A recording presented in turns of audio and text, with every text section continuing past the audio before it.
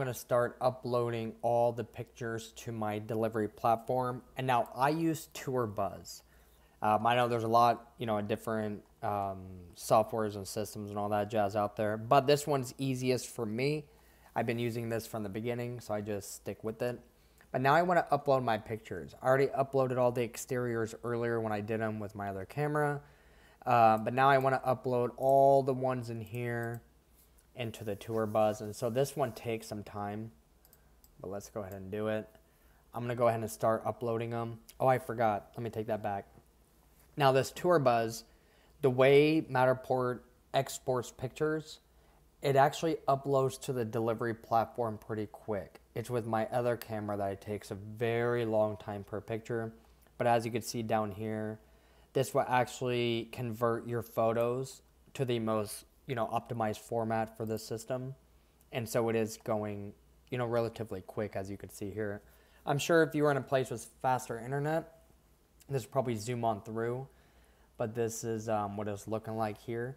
And now once this is actually done and then after you know i get my floor plans back this is how i make my interactive floor plan. Because the interactive floor plan it requires a system to use you know to, to make it work and so I use TourBuzz to make that work. And so once this is done, I'll be able to show you that example there. So I am, I'm not able to show you how it looks like with the interactive floor plan, but as soon as I get that back and these are done uploading, I'll go ahead and start the process of showing my flow of adding media hotspots to the floor plan. All right, so now it's done uploading and processing here. This is why I always name it before I upload it. Whoops, kind of jumped too quick. I always name them before I upload them because let me tell you, when you have like 50 to 75 or more pictures trying to, you know, organize, it's very difficult. So this just says 50, you know, images are being processed and will be added to my tour in the background. I'm a little antsy. Let's go ahead and click back to tour. And let's see what we got.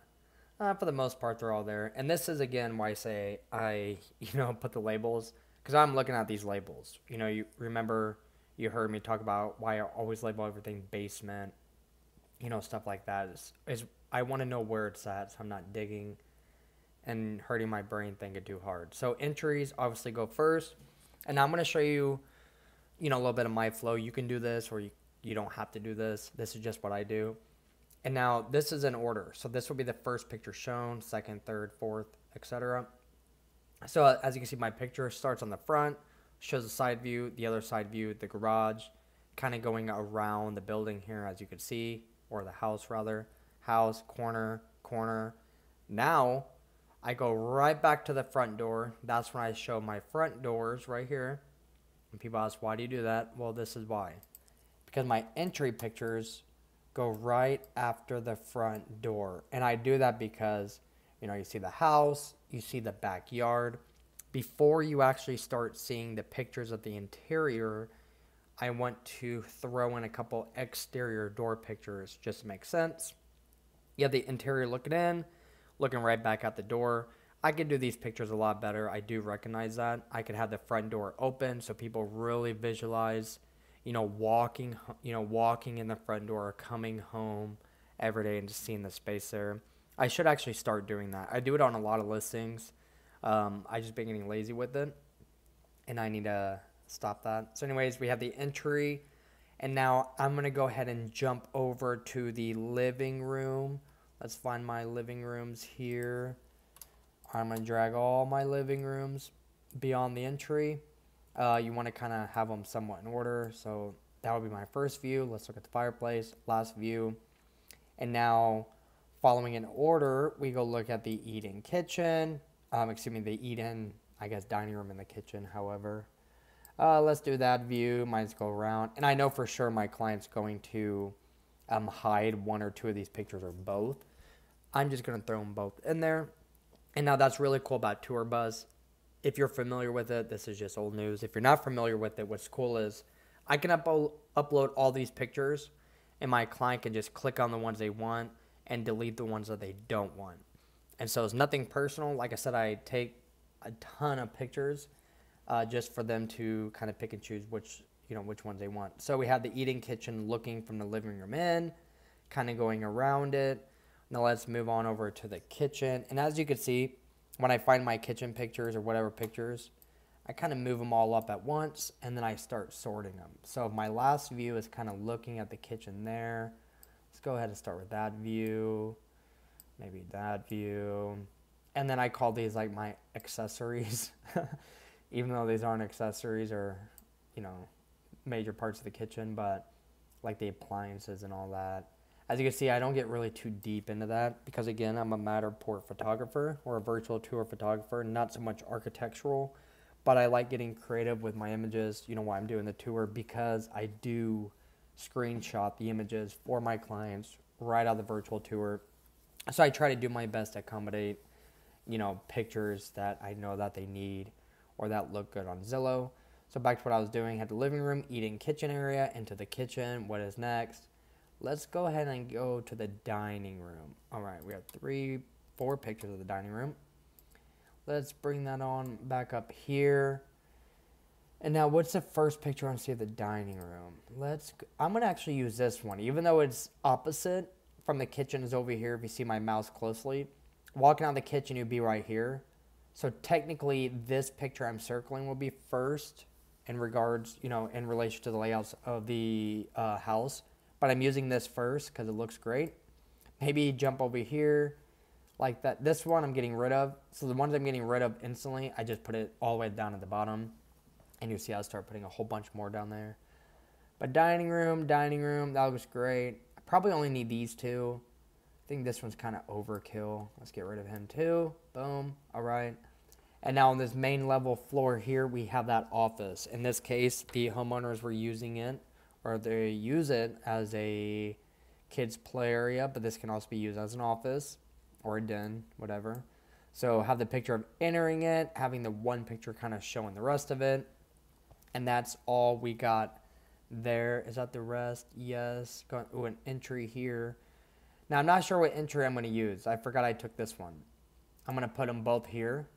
And then when I preview the tour, that's when I would decide which one I'm going to keep, which one I'm going to get rid of, if any. Anyways, we got the den, got the den, and now we have our basement photos. So I always like doing a photo that kind of breaks the floors. You know, in this case, we're going to the basement. I'm going to go ahead and use this one because it would be weird if you're looking at an office and the next picture is like the basement. You're like, wait, did we switch floors? Where are we at? Is this, you know, area on the main floor? So I put a little break, show some stairs and then I kind of work my way down. Here we go. Here's one picture. That one's looking dark. That one's looking real dark. I'm not sure if this this could be a picture that did not get edited. But anyways, I'll put them both here for now. Boom here. Okay. And now I didn't take too many in the basement. I think I was yapping too much, talking too much, and didn't take too many. Okay. So I actually, before I deliver this, I need to hop back down there and just get a few more pictures, maybe get a different angle. But we got the bathroom, got the basement kitchenette, the basement bathroom. We want the bedroom. This is the first picture looking in, so I want to keep that. I may just keep this one. I mean, we see this is yeah, this one I think brings more confusion. Bring him down there. If you guys heard, that's where these are to be purged. Kind of like that angle though. Kind of looks good. Hmm. For this one, I'm going to keep three three pictures for it. Kind of do there, caddy corner, and I'll keep that one. Yeah, I guess I'll do that. The realtor may delete them as she sees fits. Anyway, so that's all in the basement. If you remember, it was just that big family room, the kitchenette area, the bathroom, and of course that one bedroom that was down there.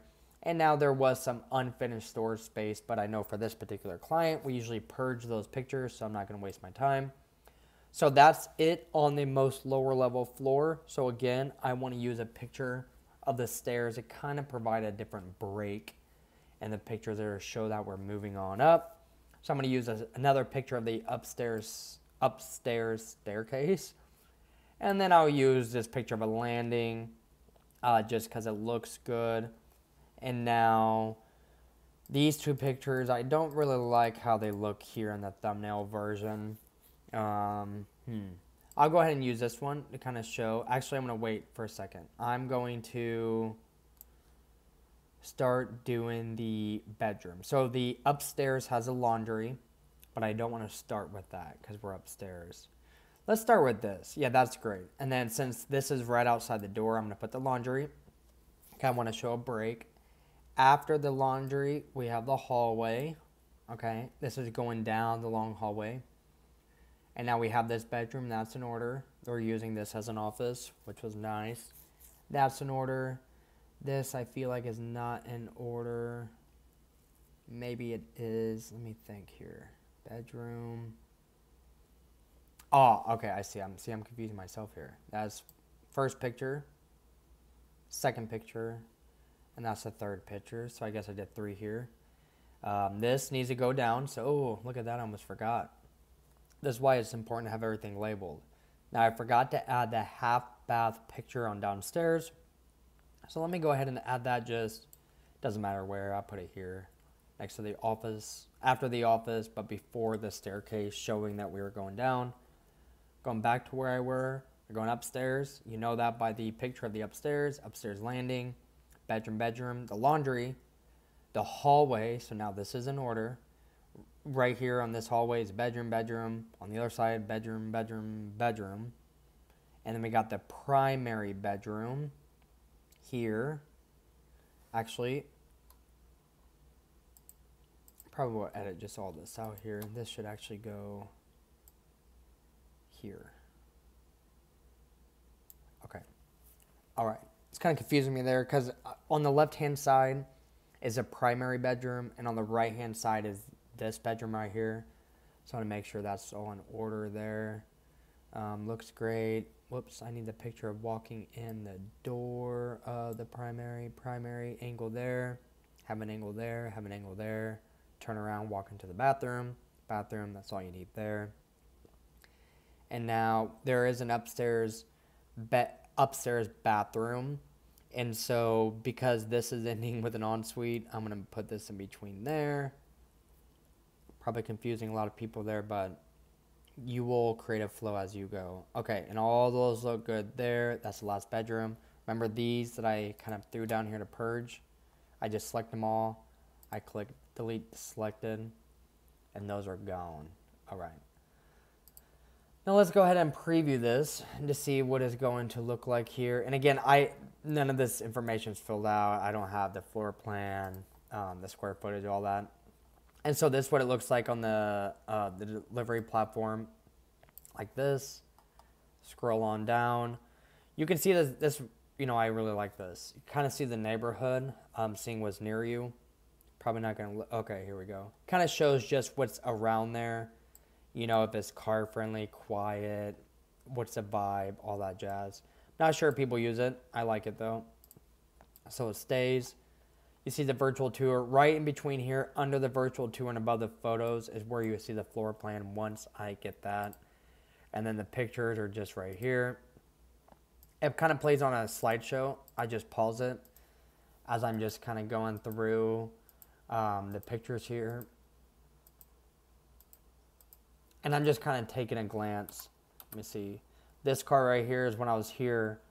Uh, a family showed up, two cars worth of family showed up to start viewing the house for the listing. This market is hot here. And so all week when I'm doing a house, I'm either arriving there and the house just sold, or if I'm arriving there and they're trying to do showings, or I'm have to be rushed in there because somebody wants to put in an offer.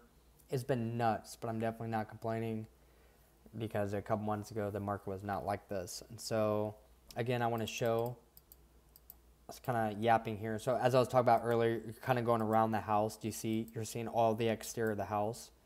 Okay. And then right before I go indoors, I start doing the front door pictures. Does that make sense? You see the outside pictures. I don't want this picture to be the living room. I want you to kind of know where you're going. That's why the front door, front door, it's like you literally just walked in. And now you do see the difference in quality with my pictures. This is with the camera and this is with my Matterport camera, okay? And so the quality is definitely different. You can definitely see the difference in quality with the picture Um, just most realtors don't mind. Okay, different markets they probably would. Um, you may have to actually use a DSLR on all your shoots to take your interior pictures. But again, that's for more advanced. And once you know your client, you'll be able to see what they want to do. That's cool. I like this one more than that. This one is just extremely boring. I'm probably going to purge that. Probably keep that one, I guess, even though it's not the best. I should have stood back a little bit more to show this staircase more prominently. Fireplace. Should have had it more towards looking to the right. Less of this and more of here, but we're good. I already talked about the fireplace. Not bad. That one's great. Looks good. And I'm assuming she's you know, my client's probably gonna keep, maybe keep that, get rid of it, get rid of it. But I provide options, and so you should too. You know, these pictures aren't horrible at all. Again, it's people who's a you know architectural or real estate photographer. You know, I'm sure their pictures or quality, their angles will be a lot different than mine because I call myself a virtual tour creator or a Matterport photographer not an architectural photographer. I like pointing that out and saying that often because I do get comments every once in a while. People tell me the quality of my photos or my editing or what what have you. And so I just remind people about that. So anyways, yeah, I'm just going through the pictures, make sure, making sure they all look good. They look, I hate that. I'm getting rid of that. See, that's why you have to go through and actually see for yourself. Where's that basement? Do okay. Get rid of him. And now I'm just kind of quickly going through these, you know, for the sake of this video. But once I'm done, obviously before I deliver this, there's a few more pictures I need to add. Maybe um, add some brightness to some of these photos. But for the most part, we're looking pretty good. Not too bad. I I should have done this bathroom a little bit better but we're good to go. Boom, that's all she wrote here. All right. So that's it. That's basically how you, you know, once you receive your Matterport tour back from Matterport after they're done processing it, you know, of course, I go through there first, screenshotting all the pictures from the tour like I did, um, finding all my great angles that I want. I download the pictures, and once Matterport send those back to me, that's when I actually edit all of those. I upload them back to my, or excuse me, upload them to my delivery platform. I go right back to my Matterport system and I start deleting all the scan points that I do not need in the tour because as you guys can see here, there's a whole bunch of scan points in this tour that I did not need and now it just feels a lot more cleaner, um, a lot more user friendly at that and you can just navigate with ease around this building without clicking 15 times just to hit to the kitchen. Took me four clicks and I'm already here. Before my version, before I edited, you know, you seen it was like 15 clicks to get in here. And so you want to clean it up because your work needs to look professional. So you want to clean it up so you, you know, look like one. Because these tours, you know, when you have them out, you never know who's looking at them. It could be a realtor who wants to use you, or it could be somebody who's never heard of Matterport and now they're very interested. So you want to make sure that your tour just looks clean. And then when you're done, you click, you simply click, you know, publish, which I already did, and you're off to the races. So that's all we got. Once we get the floor plan up, I will go ahead and do the video to show you how to add media hotspots to your floor plans to create an interactive virtual tour like I showed you earlier.